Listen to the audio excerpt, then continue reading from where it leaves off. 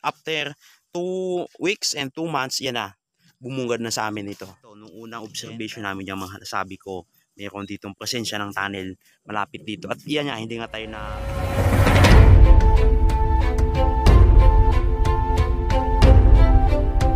Sama naming uh, treasure hunter at uh, magandang umaga sa inyong lahat. Ngayon ay time check ay alas 7 ng umaga. And this is the day 2 of our operation today. Ayan, ito ngayon at ang target natin ay kumuha dito ng uh, dito sa bungad kukuha tayo ng lupa at mag-uumpisa tayo ngayong araw. Mm, uh, tagapala kasi isa lang muna na silalim dahil medyo masikip itong area kaya isang tao lang na sa uh, loob. Itong kasama natin bagong recruit lang to. Galing pa rin ito ng probinsya at uh, bagong recruit sa aming team.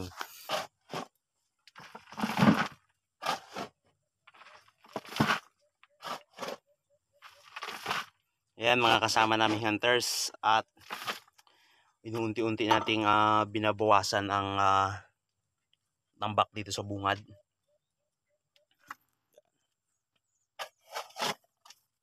Ayan mga kasama and uh, halos uh, magtatatlong oras na tayo. Hindi namin binibilisan mga kasama naming hunters dahil bungad ito. And karaniwan ng mga nasa bungad, mga kasama naming hunters, nandiyan nakalagay yung mga entrance na explosive, chemicals, and mga trap. Ang pinangangambahan namin dito kaya pinatag-araw namin talaga ito. Itong uh, area na ito dahil baka bumagsak ito. Ngayon medyo mapansin nyo yung pader. Uh, itong mga pader natutuyo na kaya hindi kami nangangamba na bumagsak ito. Pero maglalagay kami ng mga timber dyan sa may ano. Pero ngayong tag-araw naman siya. And uh, ang aming target ay 2 months. And basta 2 months. Basta bago pumasok ang tagulan, ano man ang maging resulta ay close to. Dahil for safety ng aming team, dahil batid namin na itong area na ito ay, ayan, ito po ang kabuuan ng area natin mga kasama naming hunters. Ayan. Ito uh, medyo explain ko pa sa inyo ng konti kung saan kami nag-umpisa talaga mag-operate. Ah, uh, dito mga kasama naming hunters, dito ayan, medyo nag-umpisa kami dito dahil ito ang level ng bundok eh. Hinukay namin yan, ginawa namin ng open cut papunta dito. Yan, in-open cut namin. Dahil mayroon dito mga sign noon pero mga bulok lang na pako. Then dinire-diretso namin. Dahil naniniwala kami na mayroon talaga. And after 2 weeks and 2 months, yan na. Bumungad na sa amin ito. Halaman na yan. Nasabi ko nga sa inyo. Uh, ito yung naging guide namin. Napakadami yun pa. Tapos meron pa doon sa baba. Dito pa sa may baba niyan. Tapos napakadami niyan. Ito yung naging guide namin na mag-operate sa lugar na ito. Dahil nung makita ka namin ito, nung unang observation namin yung mga sabi ko, mayroon ditong presensya ng tunnel malapit dito. At yan nga, hindi nga tayo na bigyo. Nakita nga natin. Tapos dito sa area nito mayroong kawayan. Then matanda na rin kawayan nito. Old bamboo.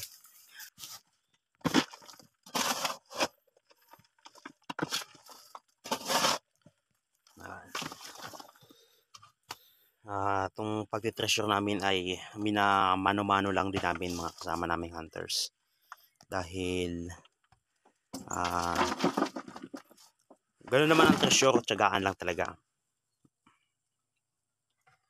Ngayon, uh, dito ilan kami dito sa team. Bali, nagsasalitan kami. Uh, bali, yung ibang kaming kasama ay wala pa, on the way pa lang sila. Dahil yung aming team ay nagkahati-hati. Meron pa dun sa kabila. Then, uh, dito pa.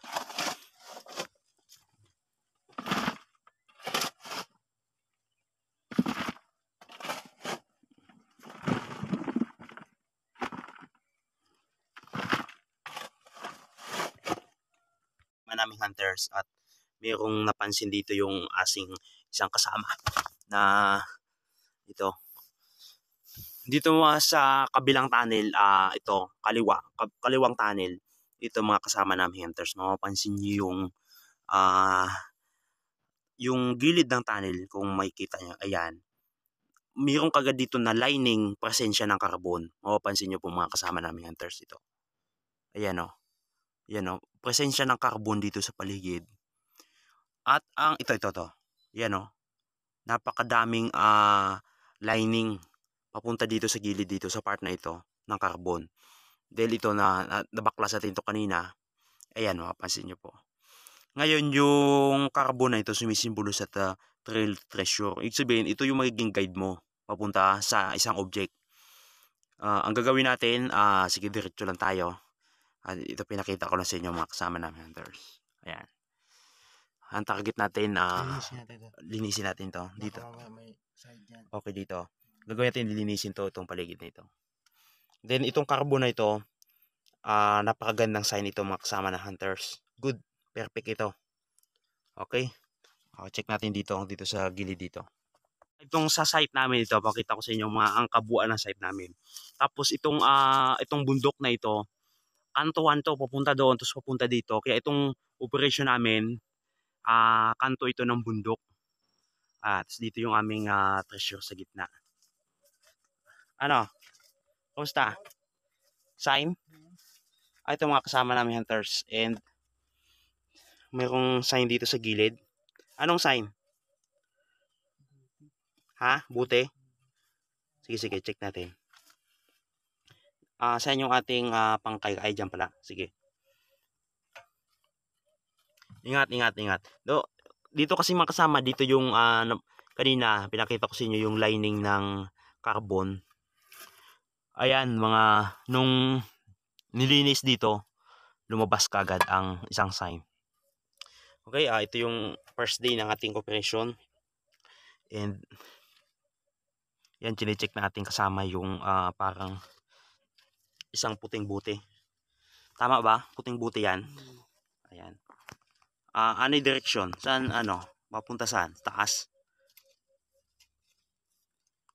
Ayan, mga kasama namin hunters.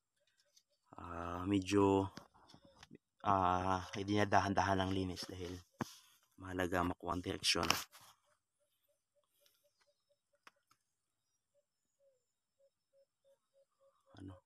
carbon uh, carbon footprint ng carbon. Okay mapapansin nyo ingatan mo lang uh, wag magalaw ang direksyon at uh, yung posisyon ng bote.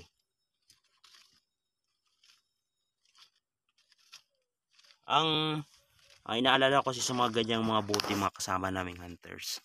Dahil ngayon ang gamit namin mga barita ay bakal ito at uh, kaya dahan-dahan dahil baka bigla natin masundot mabasag. Okay lang sana kung walang lamang chemicals. At tandaan nyo po nasa entrance po tayo ngayon. And karaniwan ng mga cup nasa entrance kagad dyan.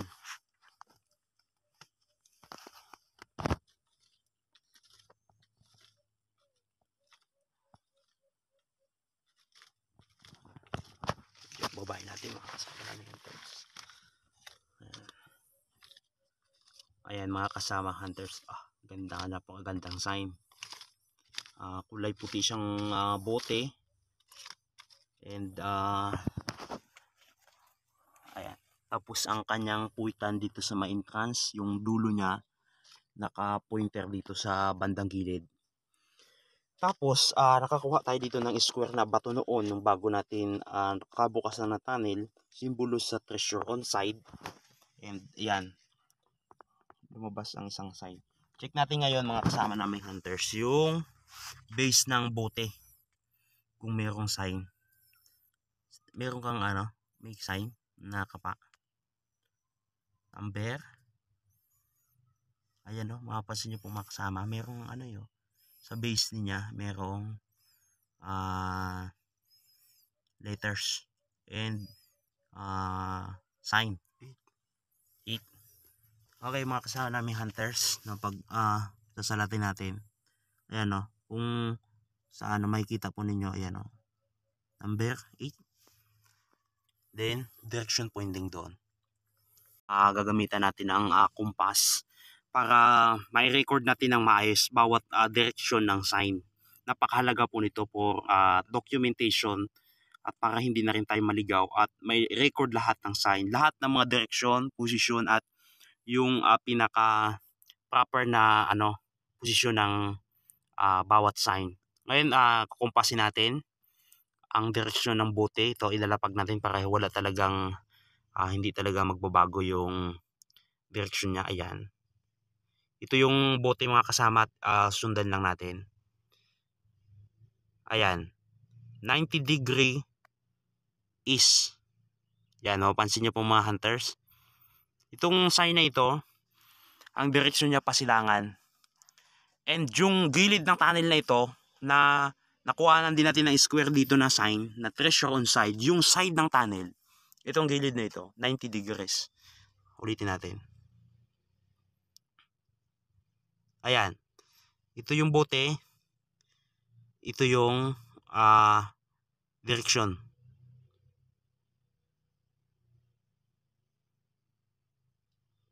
Ayan. 90 degrees. Itong side na ito 90 degrees. Perfect. Perfect na direction tayo. Silangan at karaniwan ng silangan universal direction ng mga Japanese. Kahit saan code, kahit Tanaka, kahit anong code ng general noon, 90 degrees. Universal di- direction yan. Dito sa gilid. Perfect. Okay.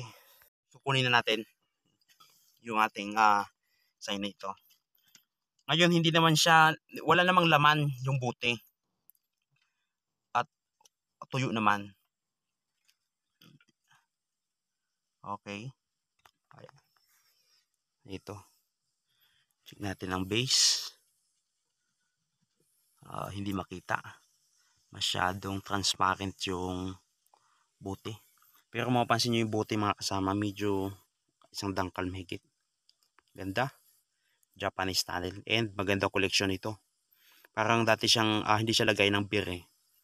Ah, maganda. Perfect. Okay.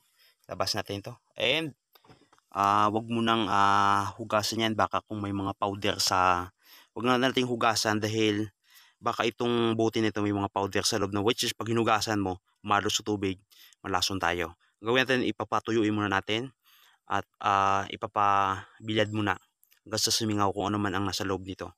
Okay?